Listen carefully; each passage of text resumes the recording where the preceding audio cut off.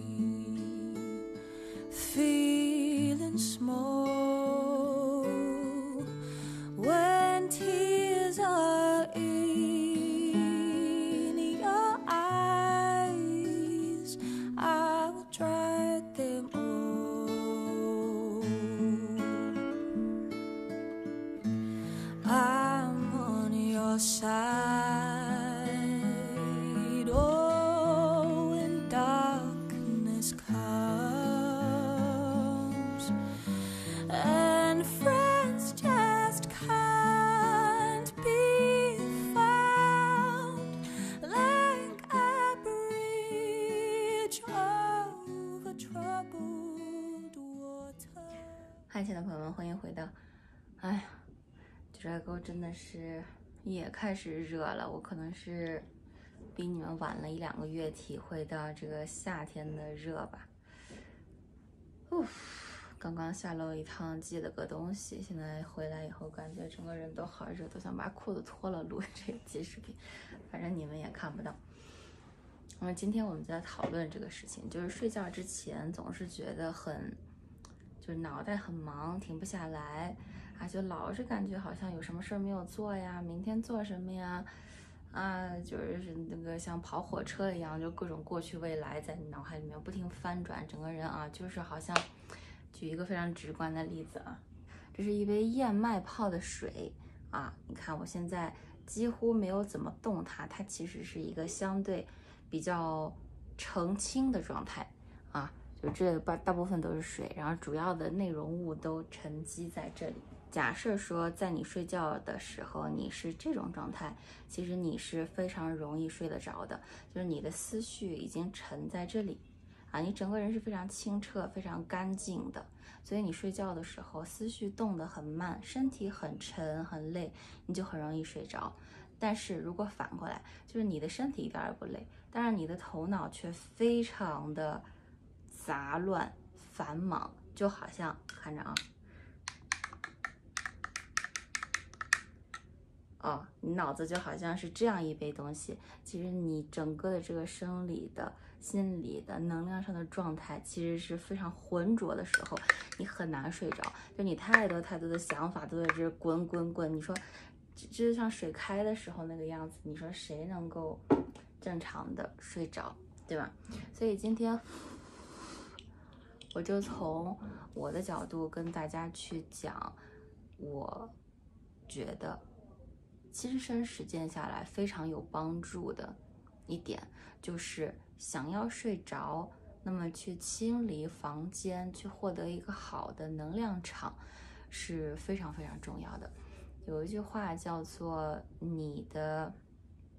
房间就是你，就是你的延伸”。我只要看一眼你的房间，可以看出来你的未来。你房间的不同的，就比如说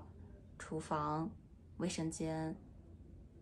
书房，这不同的房间分别反映着你在不同的方面的运势。就往往来讲，看你的冰箱干净整洁，就预测着你接下来的健康，你的身材是走上坡路的。那如果你的冰箱里有很多的剩菜剩饭，还很脏，有一种留下来的油啊、菜汤啊，那么很可能你的身材现在就是一个走样或者正在走样的趋势当中。那如果说你的窗户是很脏的，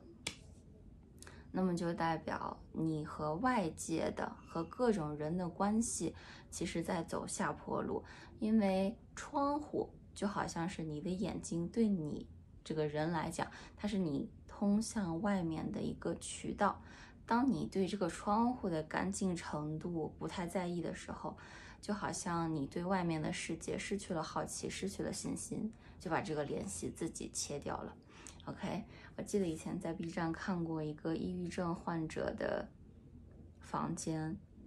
就可以说是没有下脚的路。然后他呢就请了一个专门做保洁、扫除的公司帮他去扫。啊，这个团队派出了可能好几个人，花了好几天才把他整个房间，就是那种几米高的垃圾，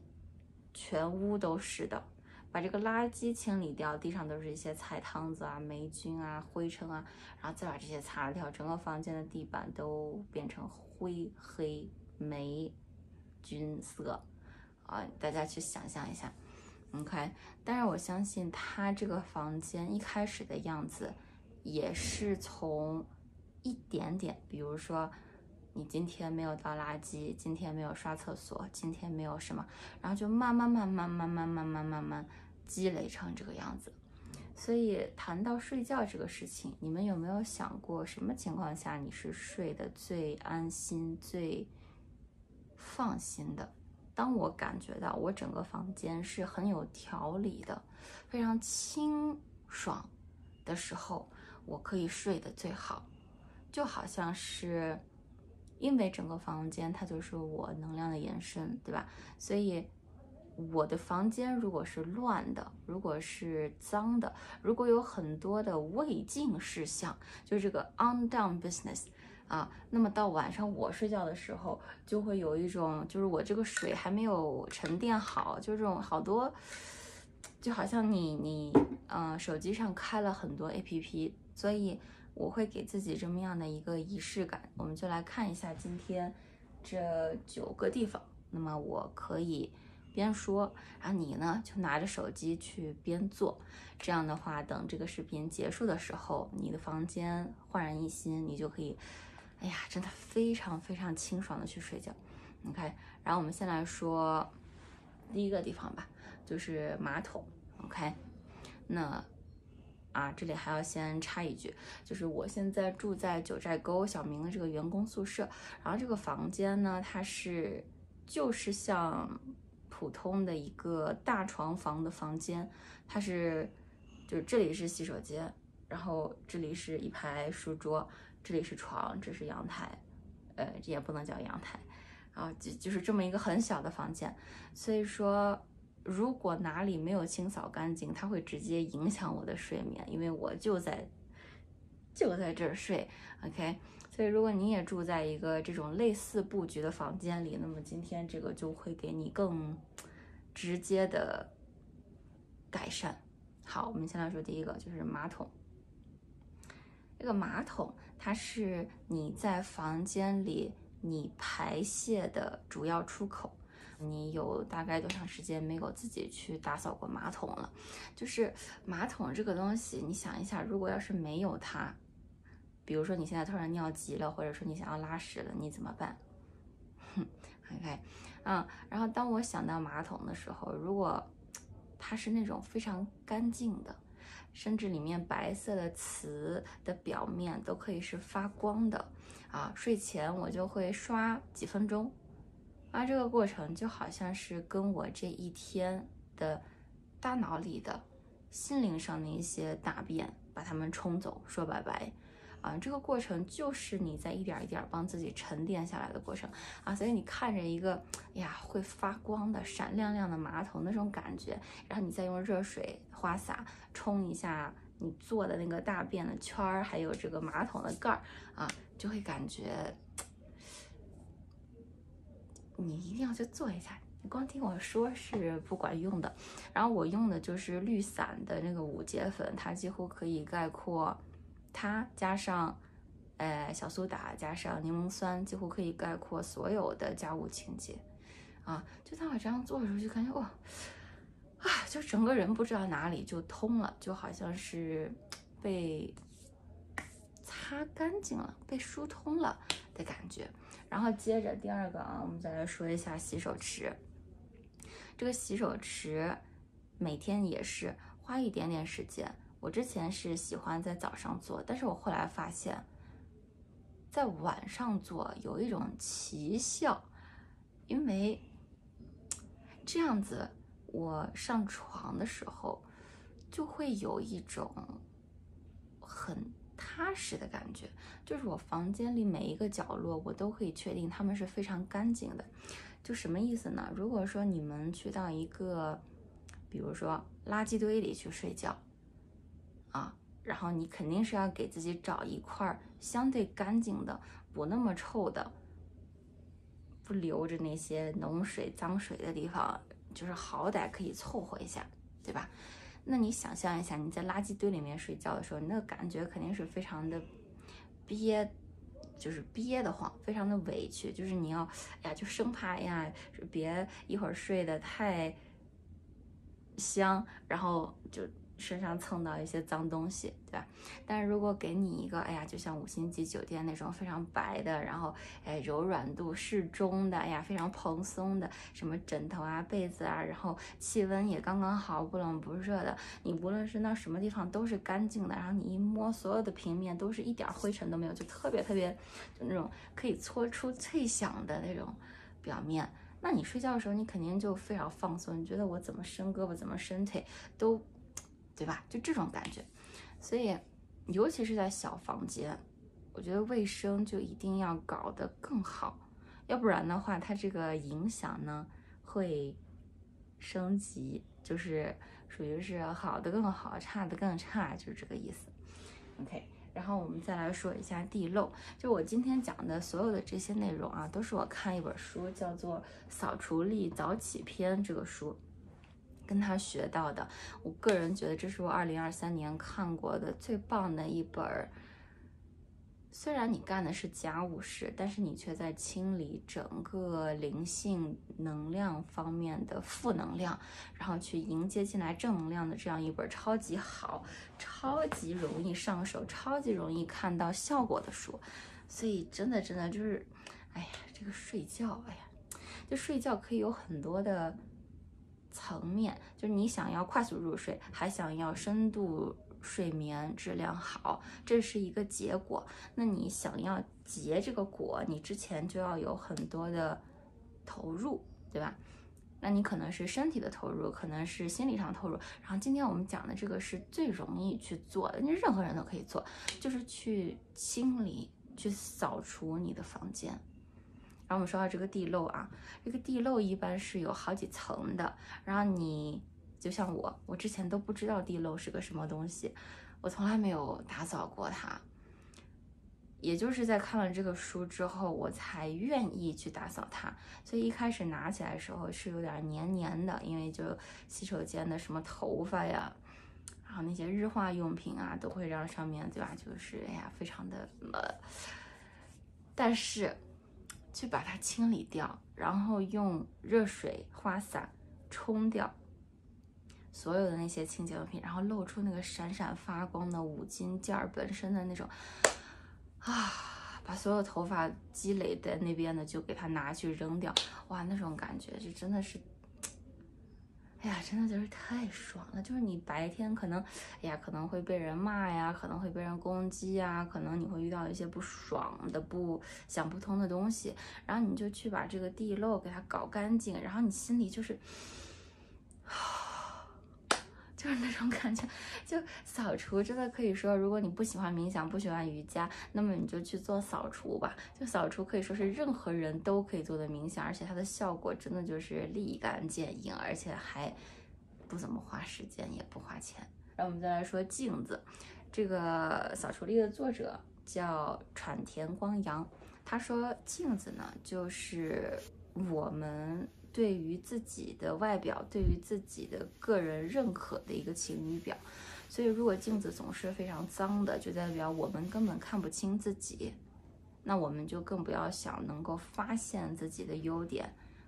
我们也更不要想去能和别人建立多么好的人际关系。所以呢，把镜子擦干净，认真的看着镜子里面自己，说我很喜欢你。这个其实是。可以表现我们对自己的认可程度，对于生活的热爱程度。那今天讲的这些，你们猛一听可能就有点像玄学，对吧？但是你仔细去想，所谓的玄学，只是你还不知道的东西，你还不能够了解。但是你听我讲一讲啊，你就会觉得哦，原来是这样啊，一点都不玄乎，我马上就可以去做，然后你生活马上就会有改善。然后我们再说第五个，就是垃圾桶。这个垃圾桶呢，就代表你这一天所产生的废物，对吗？然后你的大脑，它一天也在产生各种废物，你知道吗？睡眠当中，你的大脑在干什么？它有一个非常重要的功能，就是在你熟睡的时候，把你这一天产生的废料、一些脏水、污水啊、组织，给它排除掉，给它。OK，那么同样的道理，如果说你在睡觉之前可以把你房间里的垃圾都丢出去，那么就好像是你在给你自己一个暗示，就是说我今天已经过完了，我今天的垃圾我已经处理掉了，我现在睡觉可以说是一个完全放空的放下了自己，然后我早上起来再醒来的时候，我又是一个全新的人，就。你们有没有听过零极限这种教大家去清理的过程？其实就是你不断的去放下、放下、放下，对吧？然后就回到生活，回到你本来最全知、最完美的样子。那你在扫除的时候也是这样，你真正的去把这个垃圾袋扔出去，不光是厨房的垃圾，还有比如说客厅的垃圾啊，然后洗手间的垃圾啊，都把它们扔掉的那一刻，哎呀，你就看着这个空空的垃圾桶。一个新的垃圾袋儿，那种感觉，就是嗯，哎，我现在就就就在你在一点一点的放空你的脑袋，你的这杯水在变得一点一点的更加澄清，你看吗？现在又慢慢的开始分层了，因为你在做正确的事情。好，然后现在我们来讲第六个，就是工作台。如果说你是像我这样的一个。你是自己安排自己的工作，同时你还需要有很多的创意和灵感。那么你的工作台其实是可以预测你的未来事业和财运的地方。那我喜欢在晚上睡觉之前把所有的东西都归零，就是键盘、电脑、支架、我的笔记本该放在什么地方就物归原位。然后在这个过程里面，其实我也在放下很多东西，给我身体的暗示就是说马上要到睡觉的时间了。同时会写下来，就是明天要做什么。因为晚上的时候我的思绪其实还是挺活跃的，所以我会专门把它们写在一个笔记本上，或者是记在手机上一个滴答清单。但是我还是更推荐大家用纸和笔。手机实在是太容易让人分心了，你就记着记着，然后突然推送一个什么东西，然后突然又想看一下什么点软件，然后巴拉巴拉巴拉巴拉一个多小时就哗啦没了。第二天早上起来的时候非常有规划的起来，你要起床的时候也会变得更加的有动力。而且啊，再多加一个这个板子上没有的，你可以在睡觉之前准备一个第二天早上起来喝的饮料。就我有一个这样的保温杯，这个保温杯它保温性超级好，是这个 Tiger 的，所以晚上，然后我就会泡一个，比如说什么黄芪、当归、大枣煮的水，放这里放一夜，然后早上起来，它还是有点烫嘴的那个温度，大概也能到个。五十五度这个样子，然后就刚好兑一点凉的就可以喝啊。就是这个也是这个传田光阳非常推荐的一个做法，就这样你就会非常有动力起床。推荐大家，如果你是女孩，然后你比较容易寒凉，啊，比如说什么宫寒啊、小肚子坠胀、疼痛啊、手脚冰凉啊、这里经常长痘啊、面面色不是很好，那么你就可以去喝一个叫姜枣茶，就是姜、生姜加上大枣泡的茶。具体的做法，大家可以去关注陈允斌。他的公众号，到时候我就放在这边。就是我之前跟大家讲，他有自己的一套顺时生活的智慧，按照不同的季节、不同的时节，跟着大自然的节奏去调整身体。然后接着我们再来说第七个，就是地板。这个地板啊，我现在在这个房间，它是这种应该是仿的贴片木地板哈。然后我非常喜欢它。干净的时候会有那种从侧面看非常美的平滑的光泽，那当它是这样的时候，我就可以非常放心的光着脚在房间里走来走去的，或者是躺在地上做瑜伽。那只要我想到这个房间的地上可能有灰尘，还有很多的毛屑，嗯，我就不是很想铺瑜伽垫儿。因为我一躺下，我就觉得我只要这么一扭转，我身上都会沾这些脏东西啊，那个感觉就非常非常不好。我基本上，我之前是早上会扫，但是我发现啊，嗯，晚上去干这个事情，那么早上起来，他还是可以享受这个延长的好处，就是一个清爽的睡眠加上一个清爽的早晨。这个样子，然后就可以非常无缝的切换到新的一天的工作的状态中，啊，就不像我之前我是早上去干这个事儿，但是我就觉得，就比如说我早上起来，我非常想干一个和工作相关的事情，但是我发现房间里还很脏，哎呀，然后我就得又去扫地又去拖地，然后弄完弄完，然后那个灵感可能就没了，然后就，嗯，就就是有点难受。如果你每天都清理的话，其实每一个只要可能三十秒的时间就可以搞定了。然后接着我们再说一个，就是喷雾，就是当你把刚刚这些都清理完了之后，对吧？你整个房间肯定是非常干净的啊，这个是，对吧？但是除了干净以外呢，还想给自己留下一个愉悦的印象，怎么办呢？就可以自己去配置一个精油喷雾，所以这个里面就是自来水，然后加上。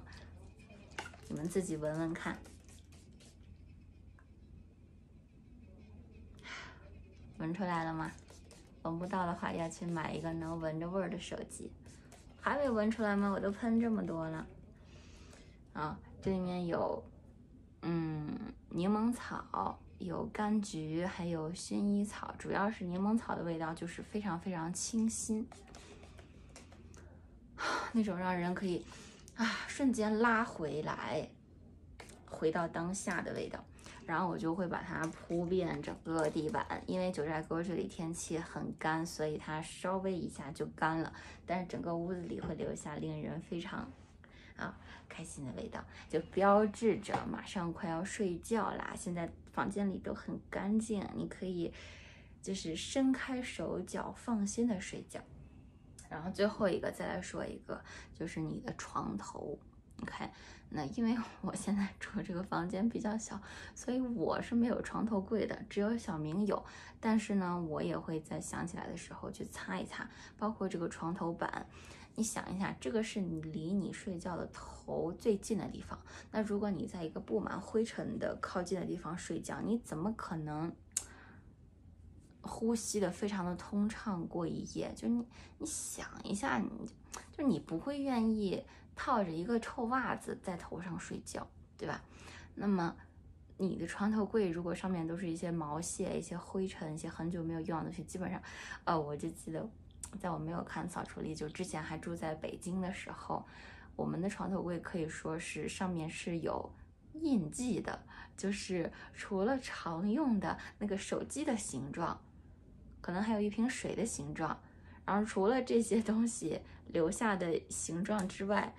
别的地方全是灰，大家 get 一下，啊，然后到了九寨给我看了这个书之后，我就会把这个床头柜，包括床头板上面都擦得很干净，然后靠近我的头的地方的地也要拖干净，所以这样你睡觉的时候，哎呀，我是不知道你们怎么感觉，但是我就是觉得非常的舒服，就是那种。哎呀，就觉得这一天的什么负担，什么那种，嗯，就是那种不安的，哎，就这种小小的焦虑啊，就那种不，就就那种都放下了，就整个人就是啊，舒服啊，就是，所以你们一定要去试一下，睡前去干这些事情。嗯，因为我觉得可能让你去长时间的冥想啊，去瑜伽，可能都是有一定的门槛的，需要你专门去建立这些习惯才能完成。但是今天讲的这些，你基本上你有手就能完成。去买一个五块钱一瓶的绿伞的五节粉啊，自己搞一搞，买一瓶柠檬酸，就真的是，嗯，你睡得好，你才能起来的时候感觉好。你起来的时候感觉好，你这一天才有精力和能量去把你想做的事情做好。那你能做的事情做好，你晚上睡觉的时候你才会对自己感觉很好，然后你这就是一个良性循环。所以有的时候大家会经常纠结于，哎呀，我怎么早起呀？哎呀，我怎么减肥呀？你们要知道，你们纠结的这些都是结果，但是我们真正要看的是，要产生这个结果，我们要给它播种什么？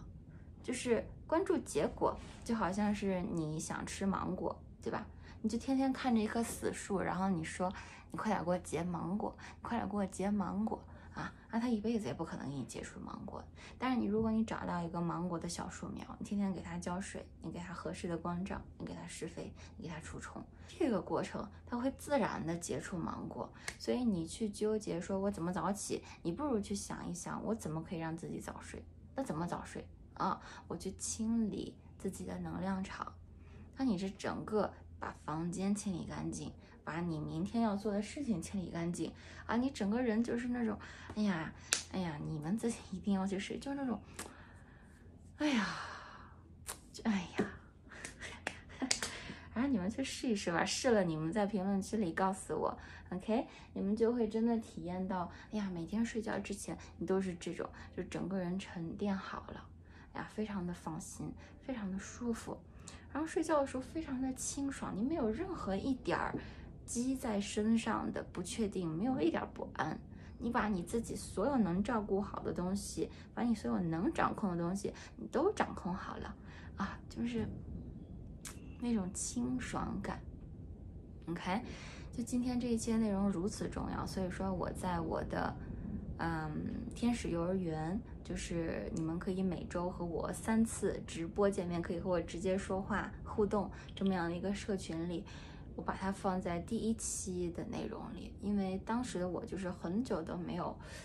有那种晚上很清爽的睡着，然后早上起来非常清爽的醒来，所以当当我看到这本书的时候，我简直就是一个属于是抓住了一个救命稻草吧，它真的就可以让我晚上无负担的入睡，早上清爽，非常 OK，嗯。所以说，希望大家呢，从这一期的视频里找到一些对你生活的启发。你家里脏，其实就代表脑子里面有一部分是脏的。你把家里的这部分给它清理掉，那么你脑子里面也会获得释放，也会得到宁静。这永远都是对应的。OK，所以说，如果你呢？也想要加入我们的天使幼儿园，你想一想啊，你就可以每周见到我三次。然后这三次呢，前两次是以直播的形式，就是我给大家去分享一些在书里面我认为会对每一个人生活都有帮助的东西。比如说最近我们的专题是人性的弱点，而且我还把批评从我的系统中删除了，我把指责换成了欣赏和赞赏。我再也不会去说我要什么了，而是我尽力的去看别人的视角。这件事情啊，我再读一遍，再读一遍。这两点是我们这本书前面大家都一起看过的，借这个机会来复习一下。第一点就是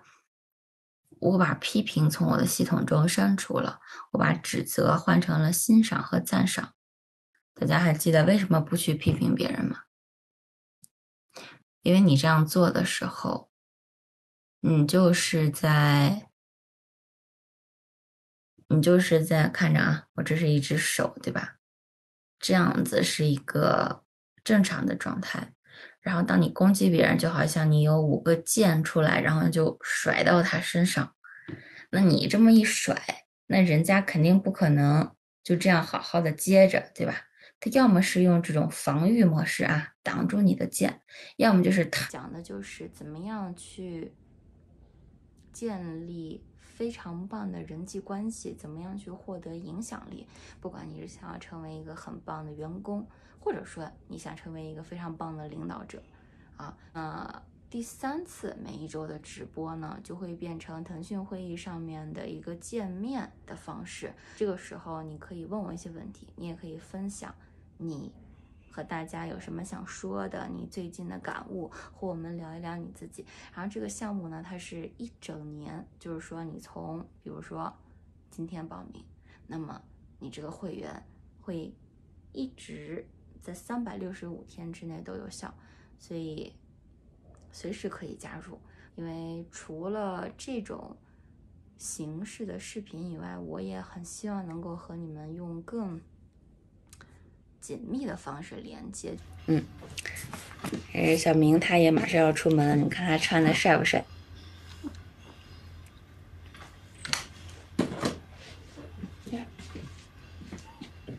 哎，等他走了，我们再冥想啊，因为他现在呢是，Can I say where you are？啊，来妞，因为他现在呢是九寨沟呃丽思卡尔顿日赛谷。银饰酒店的餐饮部的副总监，所以说他每天呢就要穿着这种自己定制的西服，因为他本来呢就是这里因为是藏族的区域嘛，所以就给他配的是就是藏族风情的制服，然后就是我不满足于只能看到你的昵称。